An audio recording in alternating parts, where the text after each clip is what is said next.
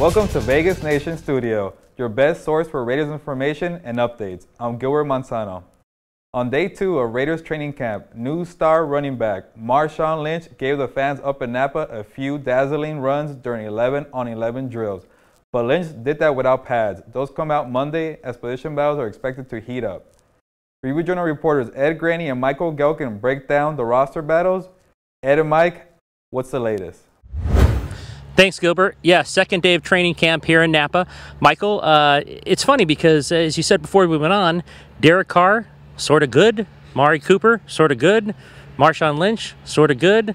But there is a lot of mystery to guys who we even know about for the Raiders and specifically positions that are still up in the air. Yeah, that's probably the biggest takeaway after two days of training camp is just how much is unresolved in terms of those questions that we were asking before training camp began. Who's the number two quarterback? EJ Manuel's handled all the second team reps so far, but those will be rotating soon. So Connor Cook, soon enough, will be working with the second team.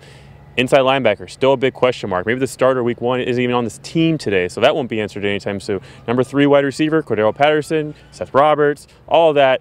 It's all wide open. And probably the biggest unknown is just how good some of these players are because on Monday, pads come on. Guys who look good in shorts in the spring or just run around without pads in the shorter pads and all that this past two days, how do they look when the intensity picks up and now they're being weighed down a little bit, the contact elevates, that's when things get interesting. One of the players we do know everything about is wide receiver Amari Cooper. Michael, he's bigger, stronger, he's added more weight. Offensive coordinator Todd Downing spoke about Amari this afternoon.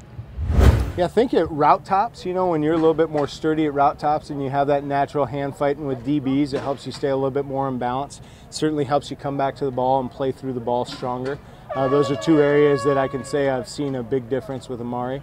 Uh, and, and, you know, holding his route uh, path, you know, as, as you're hand fighting down the field, whether on vertical routes on a go or you're trying to hold your stem on a slant. Uh, when you have a little bit more girth to you, a little bit more strength, it's harder for the DBs to knock you off course.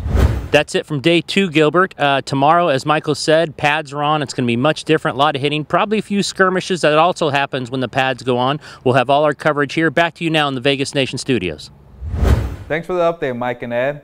Marshall Newhouse was signed to play right offensive tackle. With Donald Penn not reporting to camp, Newhouse has moved over to left tackle.